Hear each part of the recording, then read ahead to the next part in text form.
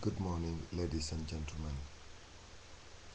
Once again, Gambians, we have seen with our own naked eyes when Lieutenant Colonel Lang Tombong Tamba and Sergio Fofana have been unlawfully sentenced to 20 years in jail for an alleged involvement in 2006 coup led by former Chief of Defense Staff, Colonel Ndure Cham.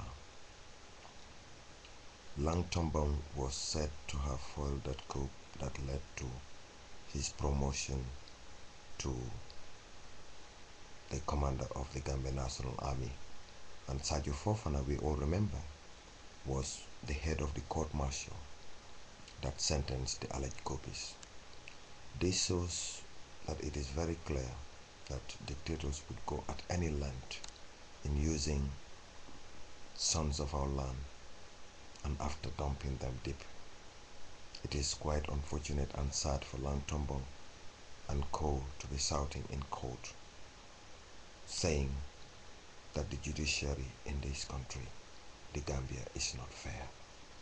They are calling in the question of the impartiality of the judiciary. It is quite sad very, very sad indeed.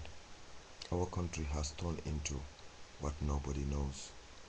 Our men in uniform are being used to torture us, criminalize, brutalize, and electrify our bodies just for the sake of one person.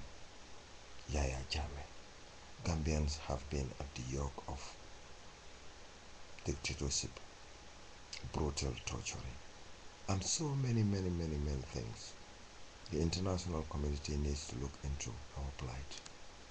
I know governments would always deny that the country is in turmoil, that the country is undemocratic. No government, even Gaddafi and the uh, previous regimes in Egypt and Tunisia, all of them would claim to be democratic nations, but it has been shown and proven to the international community that they were not.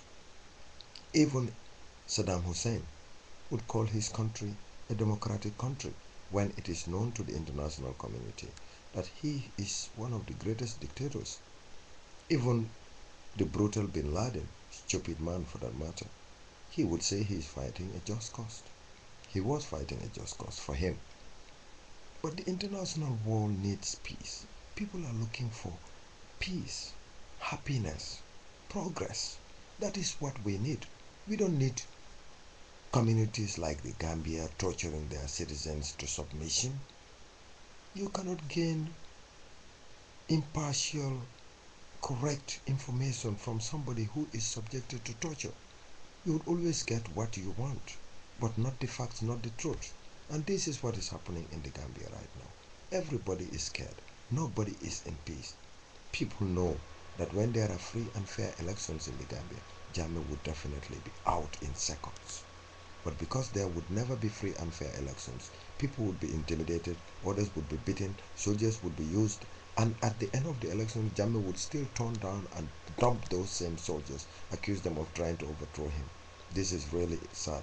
And I hope Gambians, we would all see these things and try, come together, get this man, get this cancer out of our body once and for all. Once again, I thank you very much. This is Bamba Mass. Thank you.